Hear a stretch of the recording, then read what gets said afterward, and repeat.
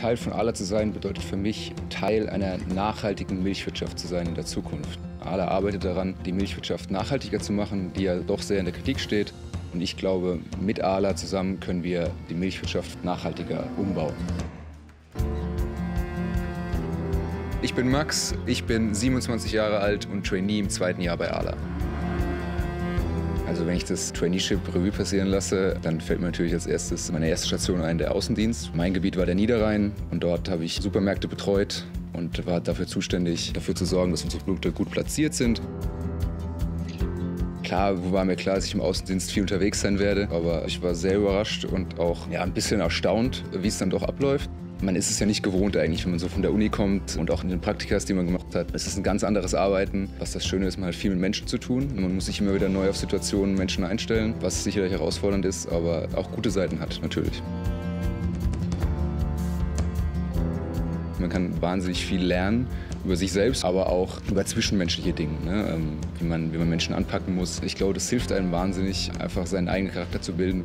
Letztendlich haben der Marktleiter und ich ja dasselbe Ziel. Wir wollen beide mehr Umsatz für den Markt generieren und natürlich am besten mit den ALA-Produkten.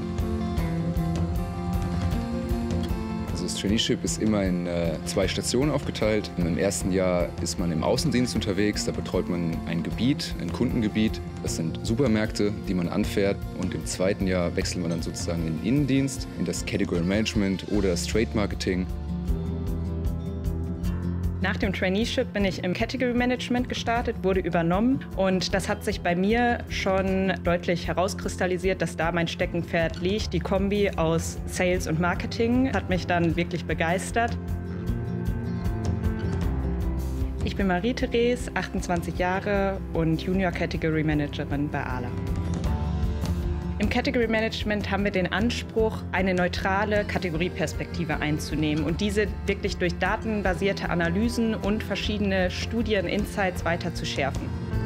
Das Spannende ist halt, dass man wirklich ganz nah an der Kategorie der Entwicklung, verschiedenen Trends dran ist und diese mitverfolgt, aber auch in der Umsetzung, wie setze ich verschiedene Maßnahmen im Markt um, auch das mitgestalten kann. Die Gemeinschaft bei ALA oder auch unser Team zeichnet sich wirklich durch eine Hands-on-Mentalität aus. Wir haben ein starkes Gemeinschaftsgefühl, jeder hilft jedem. Man wird wirklich gefordert in dem Traineeship, aber gleichzeitig auch gefördert.